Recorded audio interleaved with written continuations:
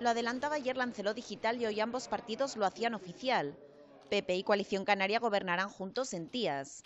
Pancho Hernández, que se quedó un edil de la mayoría absoluta, repetirá como alcalde, mientras que Amado Jesús Vizcaíno ostentará una de las concejalías más importantes para este municipio, la de turismo, además de cultura. Ha quedado claro durante las reuniones que vamos a trabajar, hacer un trabajo conjunto, sin concejalías estancas, a pesar de que nosotros llevemos dos y ellos lleven el resto, va a ser un trabajo en equipo.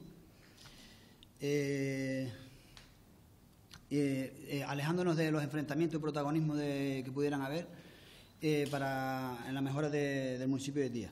Tras reunirse con Nueva Canaria, San Borondón y Coalición Canaria, Pancho Hernández explica que se optó por los nacionalistas porque serán ellos los que gobiernen en el Cabildo y en el Ejecutivo de Canarias. Se han ejecutado muchos proyectos, eh, faltan muchas cosas por hacer. En este municipio no todo está hecho y, por lo tanto, el Ayuntamiento de Tías eh, tiene eh, la obligación, en este caso nosotros como sus máximos representantes, de tocar en aquellas puertas de aquellas otras administraciones que conjuntamente con quienes gobiernan en este ayuntamiento puedan de alguna manera bueno pues hacernos llegar eh, las eh, financiaciones o la financiación que eh, se estime oportuna o, que, o a la que ellos puedan llegar para seguir ejecutando esos proyectos.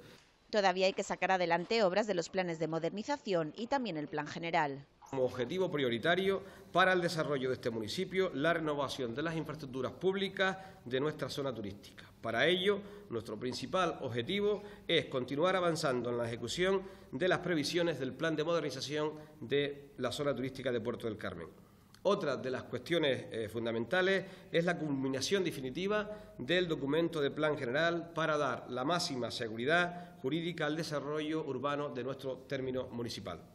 El pacto en Tías es el primero que se cierra, mientras Coalición Canaria y PSOE siguen negociando para el Cabildo, San Bartolomé y Arrecife. Y Gladys Acuña busca el concejal que le falta en Yaiza.